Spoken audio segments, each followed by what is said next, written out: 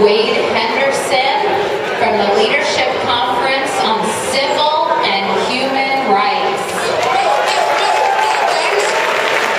Good morning. Good morning. And guys, I'm going to ask those of you who are not sitting down to please take your seats.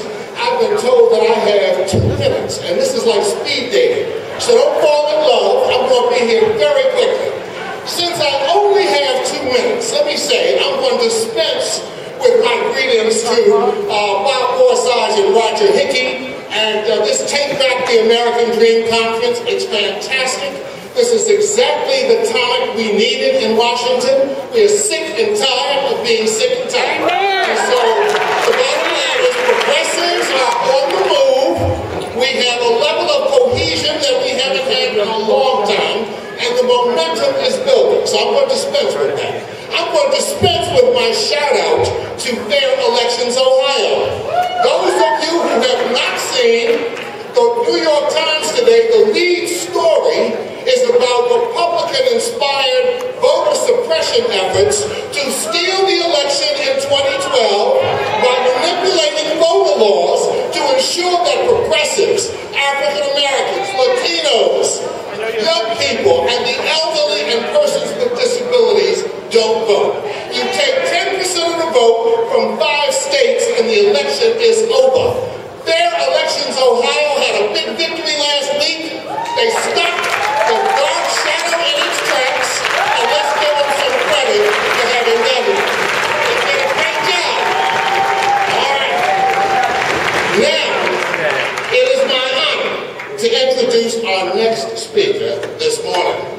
A young man who has become such a strong and influential presence on the progressive stage that he, as our one of our favorite cliches would acknowledge, virtually needs no introduction. Van Jones is part of a breakthrough generation of young American leaders who are changing the face of the nation. Van already contributed much to the civil and human rights movement with his energy, his ideas, and his relentless pursuit of justice. Now, as many of you know, Dan has founded or co-founded three of the nation's newest and most effective civil and human rights groups. The Ella Baker Center for Human Rights. All right, stand up for the Ella Baker Center. Color of Change and Green for All. All right, Green for All. Van also briefly, as the Green Jobs Advisor for the Obama White House. And finally, I'm proud to say that in 2009, the Leadership Conference saw fit to honor Van with the Hubert H. Humphrey Civil and Human Rights Award for his dedication and visionary approach to social and economic justice. Now, Van's mind is continually working. So it was no surprise earlier this year when Van reached out to me, as he did to several others in this room, to share a new vision that he believed would galvanize discouraged progressives to stand up for the principles that have made our nation great. His idea was based in part on his study of the origins and rise of the Tea Party, which is only fitting for, as Sun Tzu, the great Chinese general, wrote in The Art of War, and I quote, if you know your enemies and know yourself, you can win a hundred battles without a single loss. So, so now we may not win all of the battles.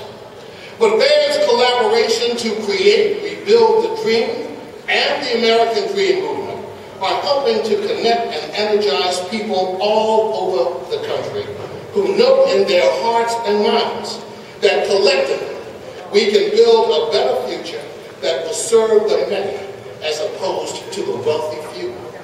Now, and that's why we're all here today.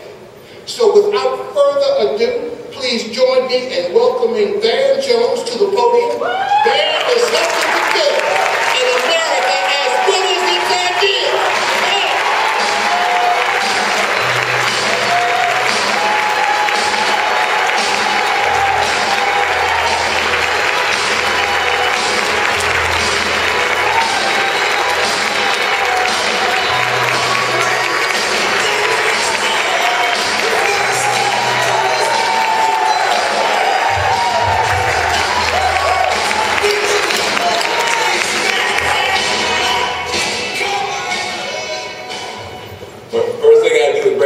Big, big sign says, please don't touch the microphone. Brother guy Need some rule breakers every now and again. I, think we may have a few in the room, do we? we got Man, so beautiful to see everybody. Thank you, brother. Hey, look. First, I just want to thank Wade Henderson. Give that man a round of applause.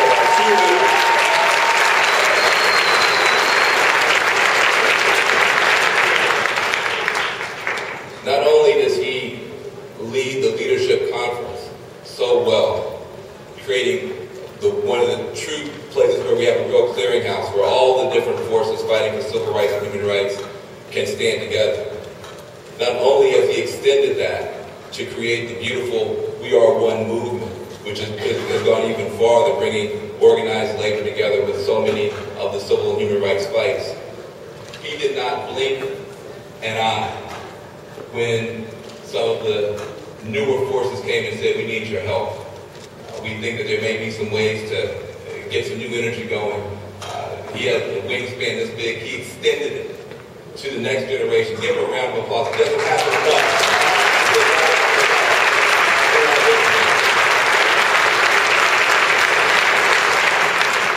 I also want to thank Bob Borosage. Bob Borosage was acting like it'd be easy to follow him. Uh, did you guys hear his speech this morning? Bob Borosage put it down. If you missed it, go on YouTube. Bob Borosage put it down. I want to thank Bob Borosage and Roger Hickey, uh, and also uh, Jen Gonzalez, Gonzalez uh, and the entire Campaign for America's Future staff. These folks, back when we were in the horrible, dark era of the Bush years, remember that? I somebody started twitching. Created this conference, Take Back America, and brought us together during those difficult days.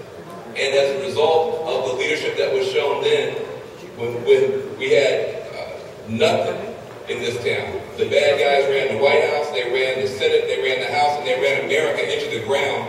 This Take Back America conference became the springboard by which we did just that, and we're going to do it again. So thank the Campaign for America's Future.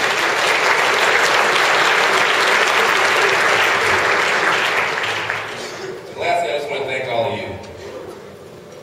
Man, it's been a tough couple of years. I mean, we can't get up here and lie and act like everything's been cool. Uh, we went from hope to heartbreak in about a minute. Uh, once the opponents that we ran out of here realized they didn't have anything to do but run their mouths, run down this president, run down progressives. And we have been on, the, on a one-sided uh, uh, offensive in this country where the worst people in America with the worst ideas have dominated the discussion. And I'm not mad at them. I'm not mad at the Tea Party. I'm not mad at them for being so loud. I'm mad at us for having been so quiet for the last two